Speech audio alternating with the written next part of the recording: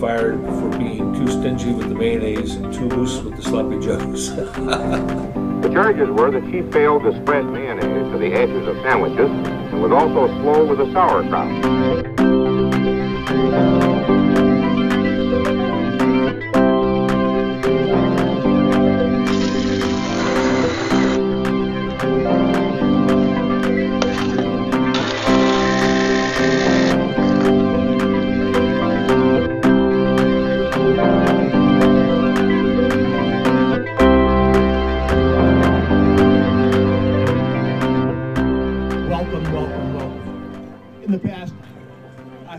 Clear beyond any doubt that Palo Alto did engage in racial profiling, and that was wrong. Yes, it was. But I want to say nine words, just nine words about the future.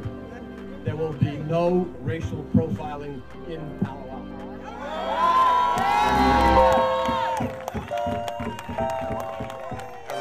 out here supporting the cause, and that's that's great. We'll really make a difference. This is not the end, and we need to continue fighting racial profiling both in school and in the community.